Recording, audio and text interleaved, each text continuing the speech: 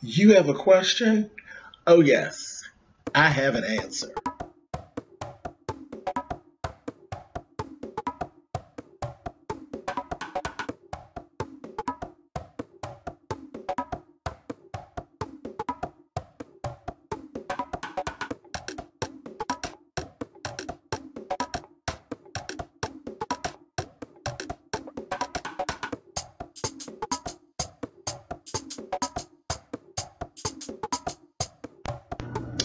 Hey guys, thanks so much for clicking on the video. And this is another episode of Ask James. Let's get into our email.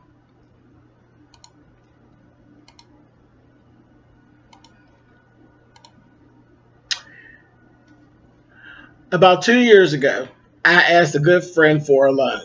We had known each other for a very long time, and I will admit I didn't really hang out with her much. We kept in contact via text message, but that's about it. We live total different lives. She's single, travels, and dates. I'm a single mother of two. Needless to say, I text her one day to ask to borrow $2,500. I told her it was for rent, but I really needed the money for something else. She texted me back and um, that she would think about it. And the next morning she texted me back. The answer is no, I'm sorry. To say I was mad was an understatement. I went on social media and wrote some subliminal messages about her.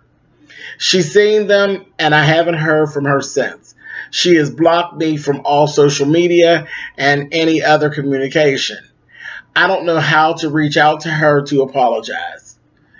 Any suggestions, good or bad, would be appreciated. Thanks in advance.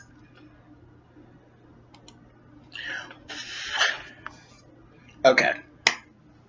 So,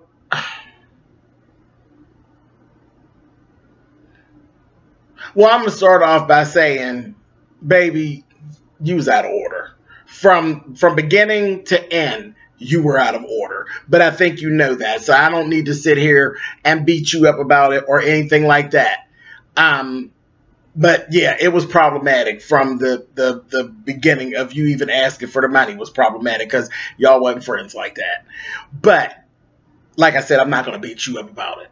But the thing is, at this point, I think that all you can really do at this point, I think that because if you're blocked on all the social media and the phones and all of that stuff, that means she's really done with it. She's pretty much done with you, and, and that's it.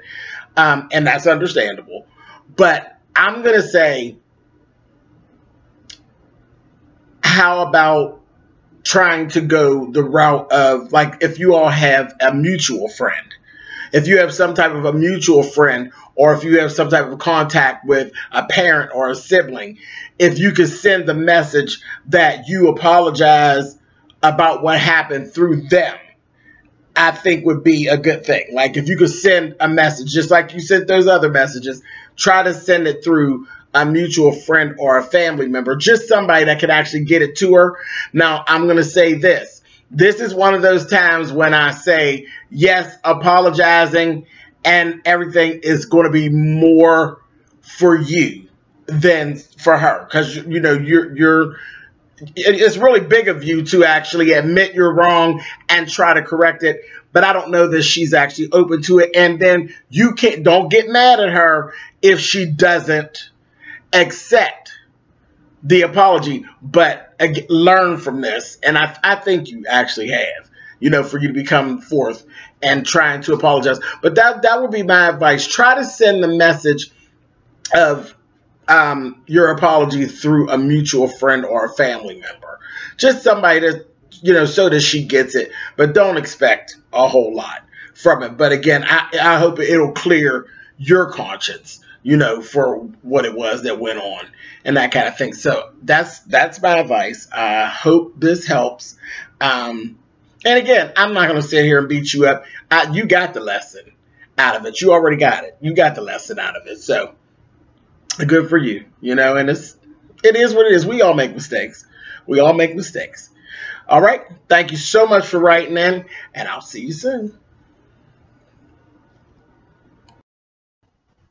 you have something you need to get off your chest or something you need some help with, I'll give it my best shot. Send me an email to spillitboy at gmail.com and in the title line, you want to put Hey James to make sure that I actually see it. If you don't put Hey James in the subject line, I'm not going to see it. It's going to continue to be an issue. So send me an email and we'll talk about it later.